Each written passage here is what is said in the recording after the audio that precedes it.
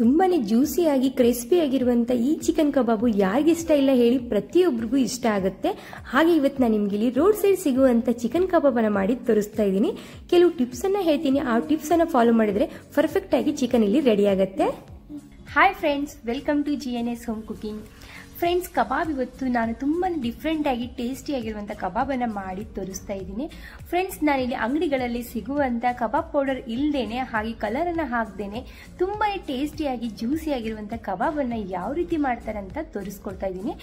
ಹಾಗೆ ನೀವೇನಾದರೂ first time ನಮ್ಮ ಚಾನೆಲ್ನ ನೋಡ್ತಾ ಇದ್ರೆ ಪ್ಲೀಸ್ ನಮ್ಮ ಚಾನಲ್ಗೆ ಸಪೋರ್ಟ್ ಮಾಡಿ, ಹಾಗೆ ನಮ್ಮ ಚಾನೆಲ್ನ ಸಬ್ಸ್ಕ್ರೈಬ್ ಮಾಡ್ಕೊಳ್ಳೋದನ್ನ ಮರಿಬೇಡಿ ಫ್ರೆಂಡ್ಸ್ ಹಾಗೆ ಪಕ್ಕದಲ್ಲಿರುವಂಥ ಬೆಲ್ಲಕ್ಕನ್ನ ಆಲ್ ಅಂತ ಪ್ರೆಸ್ ಮಾಡಿ ನಾವು ಮಾಡ್ತಾ ಇರುವಂಥ ಪ್ರತಿಯೊಂದು ವಿಡಿಯೋನು ಫಸ್ಟ್ ನಿಮಗೆ ನೋಟಿಫಿಕೇಶನ್ ಆಗಿ ಬರುತ್ತೆ. ಮೊದಲಿಗೆ ನಾನಿಲ್ಲಿ ಎರಡು ಇಂಚು ಶುಂಠಿ, ನಂತರ ಎರಡು ಗಡ್ಡೆ ಬೆಳ್ಳುಳ್ಳಿಯನ್ನ ಸೇರಿಸ್ತಾ ಇದ್ದೀನಿ. ಒಂದು ಮೀಡಿಯಂ ಸೈಜ್ದು ಈರುಳ್ಳಿಯನ್ನು ಕೂಡ ಇಲ್ಲಿ ಸೇರಿಸ್ತಾ ಇದ್ದೀನಿ. ನಂತರ ಇದಕ್ಕೆ ಇಲ್ಲಿ ಒಂದು ಹತ್ತು ಕಾಳುಮೆಣಸನ್ನು ಕೂಡ ಸೇರಿಸ್ತಾ ಇದ್ದೀನಿ. ಒಂದು ಚಮಚದಷ್ಟು ಧನಿಯಾ ಕಾಳು. ಎಲ್ಲವನ್ನ ಇದನ್ನ ನಾವೀಗ ತರಿ ತರಿಯಾಗಲಿ ಅಥವಾ ನುಣ್ಣಗಾಗಲಿ ರುಬ್ಕೋಬೇಕು. ಸೊ ಇದನ್ನ ಈಗ ನಾವು ಸೈಡ್ ತಗೊಳ್ಳೋಣ. ನಂತರ ನಾನಿಲ್ಲಿ ಅರ್ಧ ಕೆ ಜಿ ಚಿಕನನ್ನು ತಗೊಂಡಿದ್ದೀನಿ. ಫ್ರೆಂಡ್ಸ್ ಅರ್ಧ ಕೆ ಜಿ ಚಿಕನ್ಗೆ ರುಬ್ಬಿಟ್ಟಿರುವಂಥ ಮಸಾಲೆಯನ್ನು ಈಗ ನಾನು ಸೇರಿಸ್ತಾ ಇದ್ದೀನಿ. ನಂತರ ನಾನಿಲ್ಲಿ ಅರ್ಧ ಲಿಂಬಿನ ರಸವನ್ನು ಸೇರಿಸ್ತಾ ಇದ್ದೀನಿ. ಒಂದು ಚಮಚದಷ್ಟು. ನಂತರ ರುಚಿಗೆ ತಕ್ಕಷ್ಟು ಉಪ್ಪು. ರುಚಿಗೆ ತಕ್ಕಷ್ಟು ಅಜ್ ಖಾರದ ಪುಡಿಯನ್ನು ನಾನಿಲ್ಲಿ ಸೇರಿಸ್ತಾ ಇದ್ದೀನಿ. ಇಲ್ಲಿ ಕಾಶ್ಮೀರಿ ರೆಡ್ ಚಿಲ್ಲಿ ಪೌಡರನ್ನು ಯೂಸ್ ಮಾಡಿದ್ದೀನಿ. ನಂತರ ಇಲ್ಲಿ ಎರಡು ಚಮಚದಷ್ಟು ಕಾರ್ನ್ಫ್ಲೋರ್ ಹಿಟ್ಟು, ಎರಡು ಚಮಚದಷ್ಟು ಅಕ್ಕಿ ಹಿಟ್ಟನ್ನು ಇದಕ್ಕೆ ಸೇರಿಸ್ತಾ ಇದ್ದೀನಿ. ನಂತರ ನಾನಿಲ್ಲಿ ಒಂದು ಮುಷ್ಟಿ ಆಗುವಷ್ಟು ಕೊತ್ತಂಬರಿ ಸೊಪ್ಪನ್ನು ಸೇರಿಸಿ ಒಂದು ಮೊಟ್ಟೆಯನ್ನು ಇದಕ್ಕೆ ಸೇರಿಸ್ತಾ ಇದ್ದೀನಿ.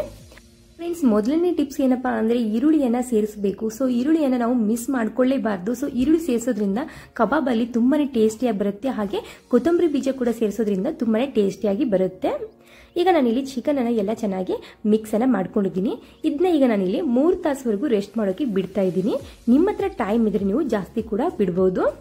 ಈಗ ನಾನಿಲ್ಲಿ ಮೂರು ತಾಸಾದ ನಂತರ ನಿಮಗೆ ಮತ್ತೆ ತೋರಿಸ್ತಾ ಇದ್ದೀನಿ. ಚಿಕನ್ ಚೆನ್ನಾಗಿ ಇಲ್ಲಿ ನೆನೆದಿದೆ. ಸೊ ಈಗ ಒಂದೊಂದಾಗಿ ಎಣ್ಣೆಯಲ್ಲಿ ಡಿಪ್ ಫ್ರೈ ಮಾಡಬೇಕು.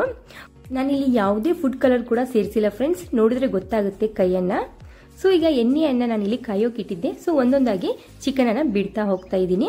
ಗ್ಯಾಸ್ ಅನ್ನ ಲೋ ಫ್ಲೇಮಲ್ಲಿ ಇಟ್ಬಿಟ್ಟು ಎಣ್ಣೆಯನ್ನ ಬಿಸಿ ಮಾಡ್ಕೊಳ್ಳಿ. ಹಾಗೆ ಚಿಕನ್ ಪೂರ್ತಿ ಫ್ರೈ ಆಗೋವರೆಗೂ ಲೋ ಫ್ಲೇಮಲ್ಲೇ ಇಡಬೇಕು.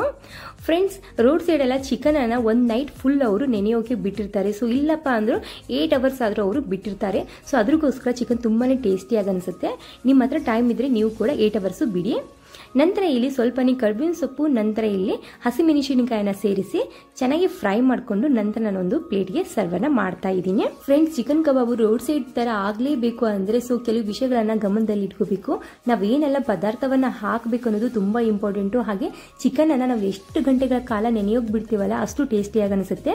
ನಾ ಹೇಳಿರುವಂತ ಪದಾರ್ಥವನ್ನ ಹಾಕ್ಬಿಟ್ಟು ಒಂದ್ಸತಿ ನೀವು ಚಿಕನ್ ಅನ್ನ ಮಾಡಿ ನೋಡಿ ನೆಕ್ಸ್ಟ್ ಟೈಮ್ ನೀವು ಹೊರಗಡೆಯಿಂದ ಚಿಕನ್ ಅನ್ನೇ ತರೋದನ್ನ ಮರಿತೀರಾ? ಈ ವಿಡಿಯೋ ಇಷ್ಟ ಆದ್ರೆ ಪ್ಲೀಸ್ ಲೈಕ್